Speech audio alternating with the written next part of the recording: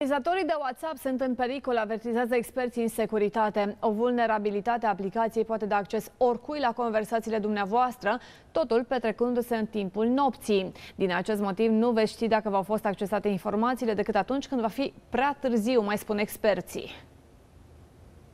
Experții în securitate au descoperit problema în urmă cu câteva luni și o documentează pentru a găsi soluții. Potrivit acestora, contul de WhatsApp poate fi accesat de hacker dacă aceștia îți află numărul de telefon. Din acest moment, pentru ei, lucrurile devin simple. De fiecare dată când descarci și instalezi aplicația WhatsApp, aceasta trimite un cod de verificare format din șase cifre printr-un mesaj text. Procedura este folosită pentru a-ți autentifica numărul de telefon. În mod normal, SMS-ul primit este vizibil pe ecranul telefonului, așa că dacă se încearcă o accesare neautorizată, ai vedea. Numai că hackerii acționează în timpul nopții și profită de funcția de autentificare automată a aplicației care citește mesajul primit. Prin intermediul acestui truc, atacatorul poate accesa ușor conversațiile stocate pe serverele celor de la WhatsApp și, mai grav, poate alege să folosească o autentificare în doi pași.